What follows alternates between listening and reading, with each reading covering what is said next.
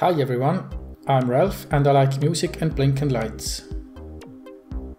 In my last video on the rotary encoder LED ring, I mentioned that while testing it, I had blown a USB protection diode on an Arduino Nano board because I had a short on the PCB that I had powered from the Arduino. On an earlier Arduino that I destroyed the same way, yes I do mistakes at least twice, you can see how the diode actually burnt out. There's a tiny hole on top.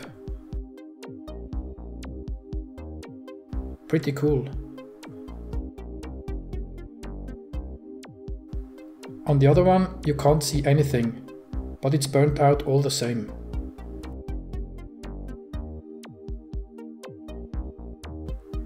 In the meantime, though, I got 100 replacement diodes. That should last a lifetime. The diodes are MBR0520 LT1G surface mount Schottky power rectifier diodes. I've already unpacked or untaped two of them, so I'm ready to go. Care for some Muzak?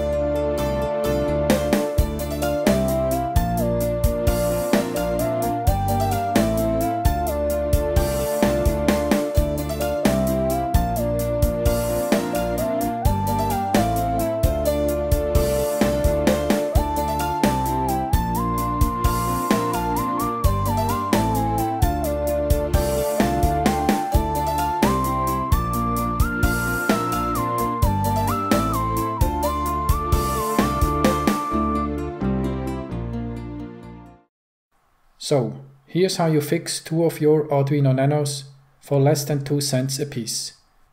And I still have enough leftovers to burn a truckload of Arduinos. Before that though, as always, thanks for watching and don't forget to like, if you did, share and subscribe for more music and blinking lights. Tschüss zusammen.